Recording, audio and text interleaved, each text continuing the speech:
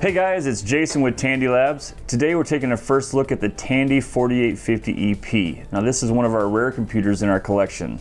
The Tandy 4850 EP was released in 1993 at a time when computing power had busted wide open for both gaming and multimedia tasks. Its biggest selling feature was the 486 DX2 processor. However, it was made less of an asset by the fact that it didn't have any L2 cache.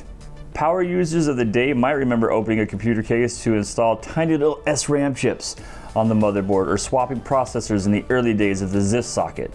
For your efforts, you could then watch your system go from a slow, glitchy hard drive killing beast to a finely tuned machine.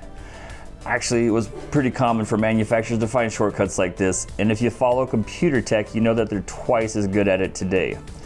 Now that isn't to say that the Tandy 4850 EP was inexpensive or low end. The Tandy 4850 EP was marketed as a multimedia PC and could be acquired from Radio Shack for the low, low price of $34.99. The standard configuration included Intel 486 DX2 running at 50 megahertz. It had a math coprocessor, which I totally could have used in middle school.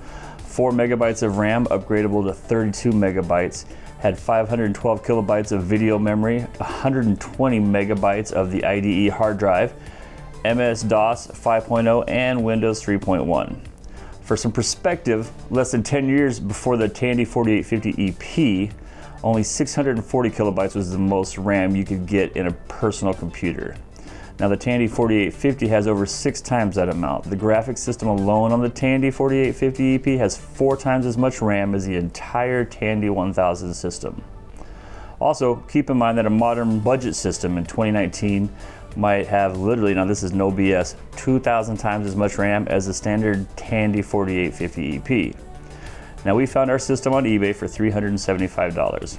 It included a handful of manuals and accessories, specifically the 4850 EP user guide, 1.44 megabyte floppy disk versions of Microsoft DOS and Windows, specifically for Tandy, still in the plastic. We had the uh, 1.44 megabyte floppy disk version of Microsoft Works for Windows version 2 with installation manual and user guides. Now, looking at the system, you'll notice that it has no signs of discoloration as you might expect for a 15 year old machine.